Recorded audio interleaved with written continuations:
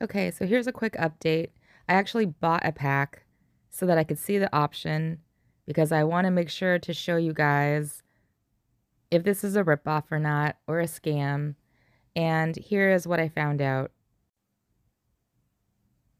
So if you go to the items and you choose the optional chest, you can actually pick different categories. So I'm choosing the the iron because I need that for my keep 40 and I'm choosing the art, I'm choosing the blazon.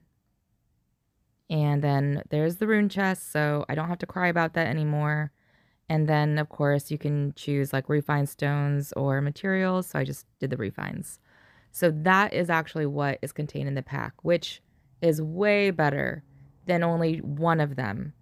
However, still having to choose which ones, whereas in you got everything in the the ladder packs previously. You got every little bit of each one as opposed to choosing it.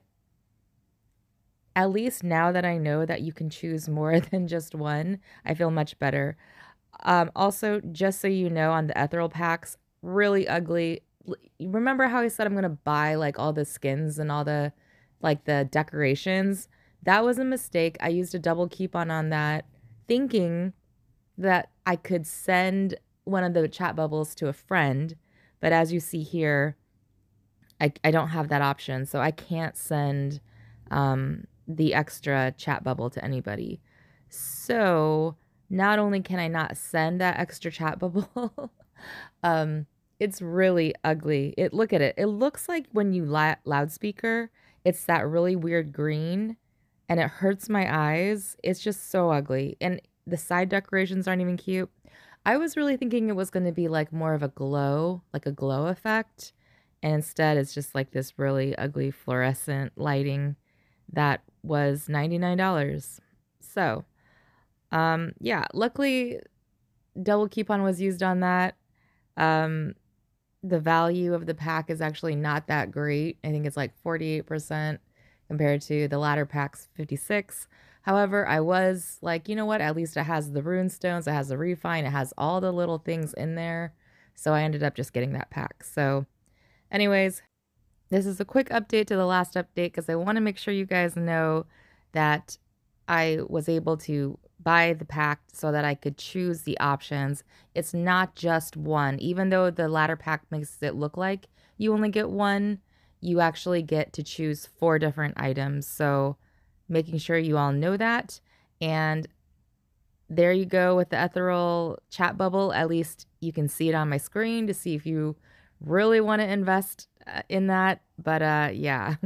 and the thing is, too, with this chat bubble, you need to get the Kate Castle in order for the buffs to activate. But the buffs aren't even that great. So, eh, it is what it is. Anyway, shout out to Chaos. I'm so glad I talked to him because when he was like, oh, you actually get options, then I checked it and now I made this video. I will say that Chaos and Reign of Terror are like my two go to guys. If I ever have questions on the game, always ask them. They always have an answer.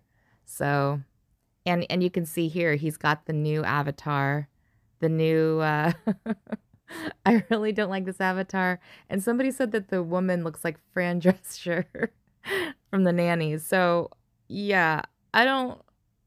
They need some better avatars. How about that?